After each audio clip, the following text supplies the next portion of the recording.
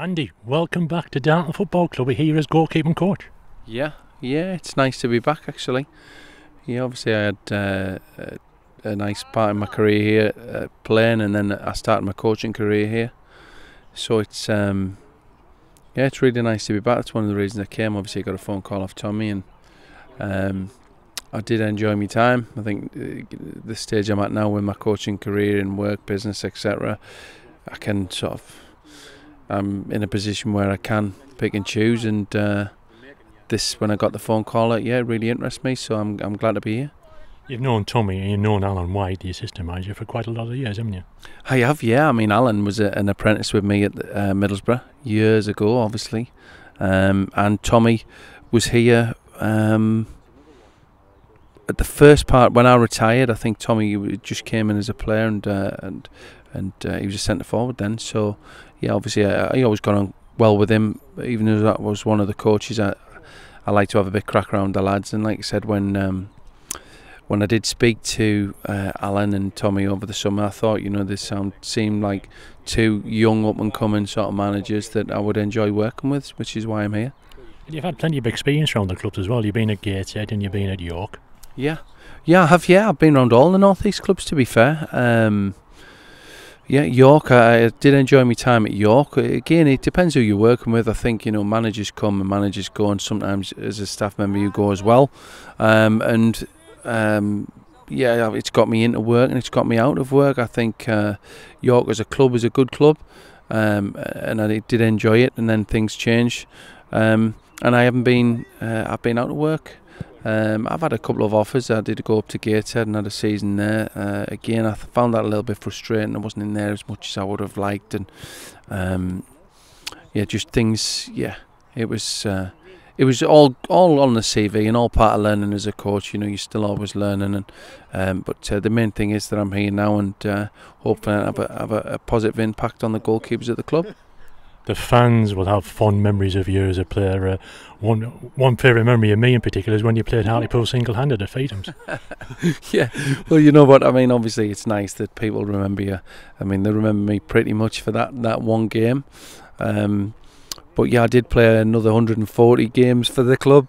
Some good, some not so good. Um, but uh, no, I did. I had I had a great time here.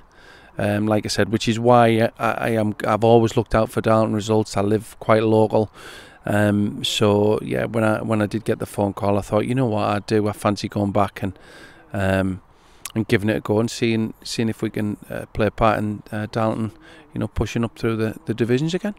You've met some of the lads this morning uh, at training, and you've also come across one or two before in the past, anyway. Yeah, yeah. Obviously, uh, I think uh, Steish, I knew Steish um, when he was at Gateshead. Uh, he was there for a period, and Steve Thompson came in uh, when I was actually working at Hartlepool, and I think we were going to offer uh, him a contract actually, and he ended up signing for Darlington, and obviously he's gone on to do really, really well for the club. Um, so yeah, I know know some of the boys. I think the main thing, like I said, I wanted to get in and around the boys again. Um, you know, just in and around the banter of the lads, and the the, the it keeps you young. You know, I'm, obviously I feel young, but it does keep you young being in the change room with a lot of young lads having a big crack. And, and like I said, the two, um, the, the members of staff are similar. You know, similar to me. I think there's a time for work, get out on the training pitch, do your work, and then there's a time for fun. You know, relax and having a bit uh, crack. And I think it makes a, uh, a healthy environment if it's like that. If it's always too serious, it's not for me. I've I've had a couple of managers where they've sort of been like that, and, and it's just not an environment I like to work in. I like to relax and enjoy what you're doing, and I think it'll show on the training pitch, and that'll show in the players' performance. So um, this hopefully will be uh, that that type of that type of environment. It seems to be anyway from the conversations that I've had with Tommy, and a more modern modern way of coaching, I suppose. You know, relax, take the pressure off a little bit and uh, and you, do you see it reap rewards on the training pitch on the on the on the pitch on a Saturday. And let's hope as well it's a successful Darlo season. Exactly, yeah. You know that's why I'm here. Um, hopefully, you know my job is to make sure that the goalkeeper performs well. Um, I know the goalkeeper that was here last year. Like I said, I, I've always looked out who's at the club. I know obviously Bartlett left, a uh, very good goalkeeper at this division, went to York, um, and then they brought Pears in, and, and uh, obviously I was at Middlesbrough with Stephen Pears. As a young kid, I came through with Stephen Pears, and and um, obviously his son is very highly rated. And from everyone that I've spoke to and the reports that I was seeing about him, um, he, he did really really well for the club. So hopefully, you know, um, the goalkeepers can can have a similar season, and uh, and if if your goalkeepers do well, um, hopefully, you know, we'll we'll be up the top end of the top end of the division come uh, come May.